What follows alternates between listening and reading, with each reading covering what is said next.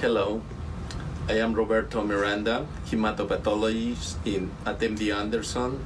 I'm a professor in pathology, and together with Dr. Mark Clemens, we have written extensively about the pathology, the clinical, the outcomes, and physiology of breast implant associated ALCL. We will be discussing this topic further in Rome in October.